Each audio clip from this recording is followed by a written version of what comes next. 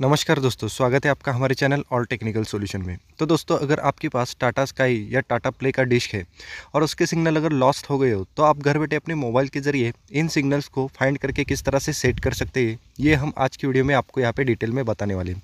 तो दोस्तों, इसके लिए आपको ये सेट फाइंडर नाम का ऐप अपने मोबाइल में डाउनलोड करके लेना है।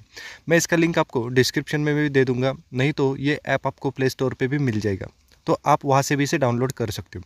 तो अभी मैं इस ऐप को ओपन करके आपको दिखाता हूँ कि आपको इसे किस तरह से यूज़ करना है। तो चलिए मैं इस ऐप को ओपन करके लेता हूँ। तो दोस्तों, इसे ओपन करने के बाद आपके सामने इस तरह का एक इंटरफेस यहाँ पे आने वाला है। तो यहाँ पे आपको सबसे पहले अपने मोबाइल का लोकेशन या जीपीएस का जो ऑप्शन है, उसे यहाँ पे ऑन करके लेना है। क्योंकि विदाउट आपका मोबाइल का लोकेशन ऑन किए, ये ऐप काम नहीं करेगा। तो मैं अपने मोबाइल का लोकेशन यहाँ पे ऑन करके लेता हूँ। उसके बाद मुझे यहाँ पे नीचे गेट स्टार्टेड ऐसा एक बटन मिल रहा है तो मुझे यहाँ पर प्रेस करके लेना है। उसके बाद दोस्तों, आपके सामने कुछ एड्स आएँगे, इन्हें आप स्किप कर दीजिए। उसके बाद आपके सामने इस तरह का एक पेज आएगा और यहाँ पे आपको बहुत सारे ऑप्शंस देखने को मिलेंगे। जैसे कि यहाँ पे satellite finder air satellite compass in kilometre level metre लेकिन आपको यहाँ पे सबसे पहले वाला जो सैटेलाइट फाइंडर है, वहाँ पे क्लिक करके लेना है। तो दोस्तों, उसके बाद आपके सामने इस तरह का एक पेज यहाँ पे आने वाला है। तो दोस्तों, अगर आपको अपने टाटा स्काई के सिग्नल्स फाइंड करने हैं तो आपको यहाँ पे सिंपली थ्री स्टेप्स फॉलो करने होंगे। और ये सारे स्टेप्स मैं आपको पूरे डिटेल में यहाँ पे बताने वाला हूँ। तो हमारा स्टेप नंबर वन है वो है डिश का सैटेलाइट सेट करना। तो यहाँ पे आपको सेस सेवन जहाँ पे लिखा हुआ मिल रहा है, वहाँ पे आपको क्लिक करके लेना है। वहाँ पे आपको सारे सैटेलाइट्स की लिस्ट मिलने वाली है। तो मैं यहाँ पे क्लिक करके लेता हूँ। तो जैसे कि आप यहाँ पे देख सकते हैं कि यहाँ पे आपको बहुत बड़ी सैटेलाइट्स की लिस्ट यहाँ पे दिख रही है। तो हमें यहाँ पे अलग अलग डिश के लिए अलग अलग सैटेलाइट सेट करना पड़ता है। जैसे कि आज हम टाटा स्काई का सेटिंग करने वाले हैं तो इसके लिए मुझे यहाँ पे इनसेट फोर ए या जी सेट टेन ये दोनों में से एक सैटेलाइट यहाँ पे फाइंड करके उसे यहाँ पे सेट करना पड़ेगा। तो मुझे यहाँ पे इनसेट फोर है, ये भी सैटेलाइट मिल गए और मुझे यहाँ पे जी सेट टेन ये भी सैटेलाइट यहाँ पे मिल गए। तो आप इन दोनों में से किसी भी एक सैटेलाइट को यहाँ पे सेट कर लीजिए। तो मैं यहाँ पे जी सेट टेन को सेट करके लेता हूँ और आप यहाँ पे देख सकते हैं कि मेरा जी सेट टेन यहाँ पे सेट हो गया है। उसके बाद दोस्तों ये हमारा स्टेप नंबर वन पूरा कंप्लीट हो गया है। और उसके बाद हमारा जो स्टेप नंबर टू है, वो है डिश का इंक्लेशन सेट करना। तो ये सेट कैसे करना है, ये मैं आपको पूरा डिटेल में यहाँ पे बताने जा रहा हूँ। आप यहाँ पे ध्यान से देखिए। तो आपको यहाँ पे एक डिश का छोटा सा आइकॉन दिख रहा है। वहाँ पे आपको इंक्लेशन दिखाई दे रहा होगा। आपको यहाँ पे 68 डिग्री इतना इंक्लेशन मिल रहा है। तो आपको ये सेटिंग कैसे करना है, ये मैं आपको अभी डिटेल में बताता हूँ। तो ये सेटिंग करने के लिए आपको सिंपली अपने डिश के पिछले हिस्से में जाना होगा।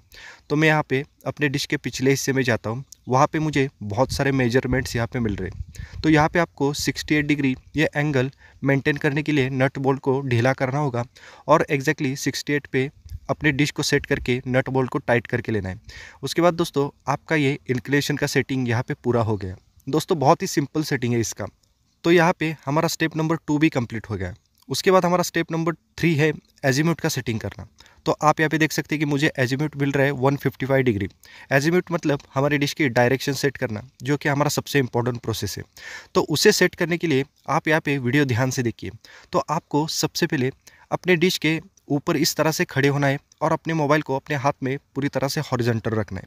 क्योंकि दोस्तों, अगर आप अपने मोबाइल को हॉरिजेंटल नहीं रखते हो तो ये ऐप आपको सही से डायरेक्शन नहीं दिखाएगा। तो आप अपने मोबाइल को पूरी तरह से हॉरिजेंटल रखिए, या आप इसे ज़मीन पे भी रखेंगे तो भी चलेगा।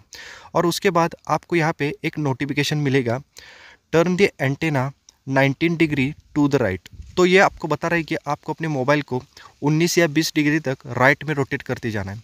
और आपको ये भी समझ नहीं आ रहा है तो मैं आपको सिंपल तरीका बताता हूँ। आपको ये नीचे जो बड़ा सर्कल मिल रहा है, वहाँ पे आपको एक सैटेलाइट का साइन मिल रहा है। आपको इस साइन को, ये जो डिश का साइन है, उसका जो हैंड है, इसके साथ मैच करना पड़ेगा। और जहाँ पे दोस्तों, ये दोनों साइन एक लाइन में आ जाते मतलब ये डिश का जो हैंड है, वो सैटेलाइट के इस लाइन के साथ अलाइन हो जाता है या मैच हो जाता है, वही आपके डिश की सही डायरेक्शन होने वाली है। और दोस्तों, इसके लिए आपको अपने मोबाइल को थोड़ा सा राइट में रोटेट करते जाना है और इन दोनों साइंस को एक लाइन में यहाँ पे लाना है। और जैसे ही आप इसे एक लाइन में ला रहे ऊपर की वैल्यू भी यहाँ पे कम होती जा रही है। और एग्जैक्टली सही डायरेक्शन में आने के बाद आपको ऊपर परफेक्ट ऐसा एक मैसेज देखने को मिलता है। तो जहाँ पे आपको ये परफेक्ट मैसेज दिखता है और ये दोनों साइन यहाँ पे एक लाइन में मैच हो जाते हैं, वही आपके डिश की एग्जैक्टली डायरेक्शन यहाँ पे होने वाली है और उसी डायरेक्शन में आपको अपने डिश को सेट करना है।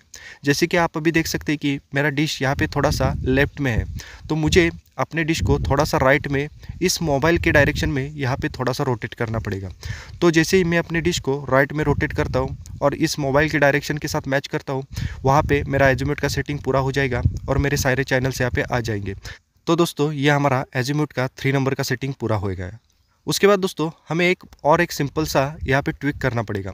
इस सेटिंग को बोलते हैं एलएनबी या पोलराइजेशन का सेटिंग अगर आपका डिश का सेटिंग करने के बाद भी आपके सारे चैनल्स नहीं आ रहे या आपकी डिश की फ्रीक्वेंसी थोड़ी सी कम है तो आपको अपने एलएनबी को थोड़ा सा राइट में ट्विक करना है। बहुत ही धीरे धीरे से आपको अपने एलएनबी को रोटेट करते जाना है और साइमल्टेनियसली आपको अपने फ्रीक्वेंसी को भी चेक करना है।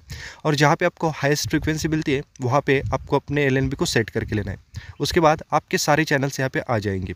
तो दोस्तों, इस तरह से अगर आप ये सारे सेटिंग्स करते हो तो आपके डिश के सिग्नल्स यहाँ पे डेफिनेटली आ जाएँगे। तो दोस्तों, वीडियो अगर पसंद आते हैं तो वीडियो को लाइक कीजिए और ज़्यादा से ज़्यादा शेयर कीजिए। चैनल पर नए हो तो चैनल को सब्सक्राइब कीजिए। धन्यवाद।